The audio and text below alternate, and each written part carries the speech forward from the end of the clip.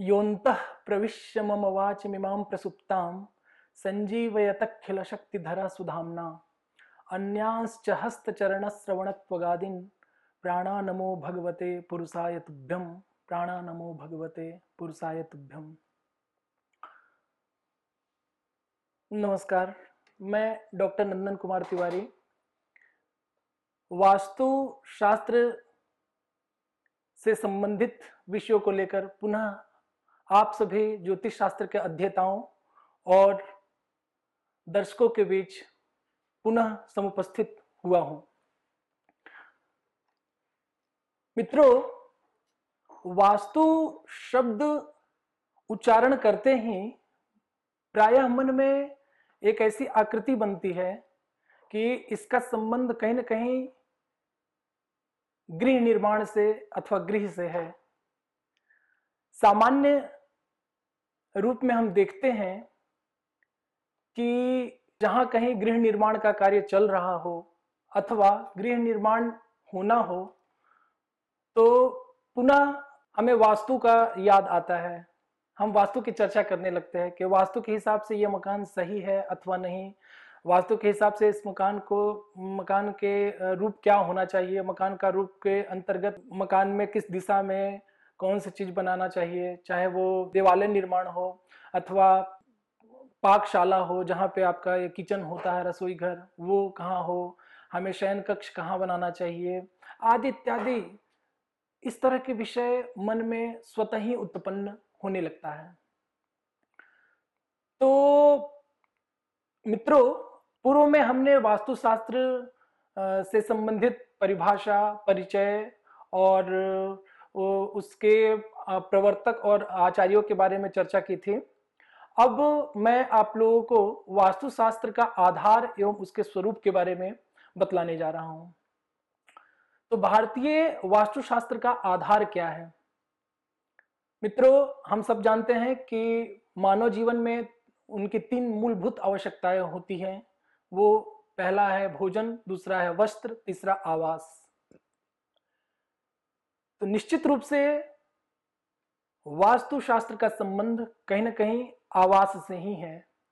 और हम जानते हैं कि जगत के समस्त प्राणी को रहने के लिए उन्हें गृह की आवश्यकता होती है, आवास की आवश्यकता होती है। और यदि गृह और आवास की बात जहाँ पे आती है तो स्वतः ही वहाँ वास्तु की चर्चा होने लगती है। कि वास्तु से संबंधित हमारा यह गृह है, गृह सही है अथवा नहीं है। वास्तु के अनुसार हमारे गृह में प्रत्येक चीज़ों का निर्माण हुआ है अथवा नहीं है। मित्रों, भारतीय वास्तुशास्त्र का आधार मनुष्य की मानसिक दृष्टि से सुख प्रदान करना है। मनुष्य को मानसिक दृष्टि से सुख प्रदान करना है। यह केवल मनुष्य के शारीरिक सुख का ही नहीं अपितु मानसिक सुख का भी विचार करता है। भारतीय वास्तुशास्त्र केवल ऐसे भवन की कल्पना नहीं करता, जिसमें रहकर मानव को केवल भौतिक सुख ही मिले, अपितु ऐसे भवन की कल्पना करता है, जिससे मनुष्य प्रसन्न चित्त हो, उसका जीवन समृद्ध हो, और भवन में रहने वाले सभी लोगों में पारस्परिक सौहार्द और सामंजस्य की भावना हो। और यही वास्तुशास्त्र का मूल उद्देश्य भी है। कदाचित इन्हीं उद्देश्य को देख करके ऋषियों ने आचार्यों ने वास्तुशास्त्र का निर्माण किया होगा। इसी क्रम में हम वास्तुशास्त्र के बारे में जानने से पहले थोड़ी उसकी चर्चा और करते हैं। प्राय यह देखा जाता है कि मनुष्य जब पृथ्वी पर जीवन यापन करता है तो कहीं ना कहीं प्रकृति के साथ उसका संबंध यदि संतुलित न हो तो उनके, उसके जीवन में कई तरह की विपत्तियाँ का विपत्तियों का आना लाजमी हो जाता है। यदि उनके घर के, उनके जहाँ वो वास करता है, वो उसके इर्द गिर्द यदि प्रदूषण हो अथवा प्रतिकूल स्थिति हो तो उससे वातावरण पर प्रभाव पड़ता है और उस वातावरण का प्रभाव मनुष्य के, उसके जीवन पे भी पड़ता है। इतिहास साक्षी है जब जब मनुष्य ने किसी भी चीज़ का अतिक्रमण किया है तो उसे सदैव प्रतिकूल परिस्थितियों का सामना करना पड़ा है। वास्तु से वास्तु से संदर्भित एक विषय मैं आप लोगों को बताने जा रहा हूँ कि सम्रांगण सूत्रधार के सहदेवाधिकार में वर्णित कथा है, जिसमें आधुनिक विकास सिद्धांत के प्रतिकूल यह कहा गया है कि प्राचीन काल में मानव और देवता एक साथ रहते थे। मानव और देवता जहाँ एक साथ सुखपूर्वक निवास करे, उसका नाम वास्तु है। यह भी एक परिभाषा वास्तु की दी जाती है। तो सम्रांगण सूत्रधार की यह कथा कहती है कि देवता और मनुष्य, वो एक साथ ही जीवन यापन करते थे। देवता की तरह मनुष्य में भी उसी तरह से अतुलित शक्ति और समस्त भौतिक सुख सुविधा और उनके अंदर सात्विक भावनाएँ आदि इत्यादि विद्यमान थी। परंतु कालांतर में मनुष्य देवता की अवज्ञा करने लगा। वह देवता से अपने आप को श्रेष्ठ समझने का प्रयास करने लगा और परिणाम स्वरूप ऐसा हुआ कि मानव और देवता दोनों में विच्छेद हुआ और दोनों फिर अलग अलग हो गए। देवता देवलोक में और मनुष्य भूलोक में स्थापित होने लगा। और इस तरह से मनुष्य जो है, वो भूलोक में फिर निवास करने लगे। तो यह कथा यह बताती है कि मनुष्य को कभी भी अतिक्रमण नहीं करना चाहिए किसी भी चीज़ का। अब जब हम वास्तु की बात करते हैं तो वास्तु का संबंध निश्चित रूप से ज्योतिष शास्त्र से है। और ज्योतिष हम जानते हैं कि वेद चक्षु किदम स्मृतम ज्योतिषम। अर्थात वेद का चक्षु रूपी अंग है ज्योतिष। वेद के मुख्यतः, मुख्यतया छह अंग हैं, जिन्हें वेदांग अथवा शास्त्र कहा जाता है। वह छह अंग हैं, शिक्षा, कल्प, व्याकरण, निरुक्त, छंद और ज्योतिष। तो जो ज्योतिष वेद का चक्षु रूपी अंग है, उसके प्रमुखतया तीन स्कंद है। जिसमें पहला स्कंद है सिद्धांत या गणित, दूसरा है होरा या फलित, तीसरा संहिता ज्योतिष। तो संहिता ज्योतिष के अंतर्गत वास्तुशास्त्र का हम अध्ययन करते हैं। वास्तुशास्त्र में ही फिर शिल्पकला, चित्रकला, वास्तुकला आदि का भी ज्ञान हम करते हैं।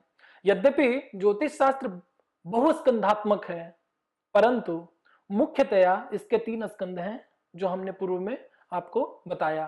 तो वास्तु पुरुष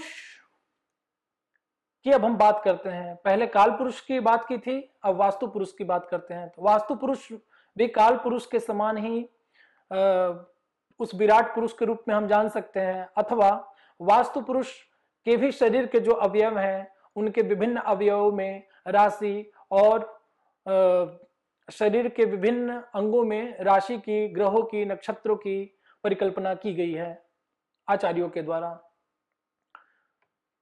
जैसा कि हमने पूर्व में ही बताया था कि आचार्य वराह मिहिर ने अपने ग्रंथ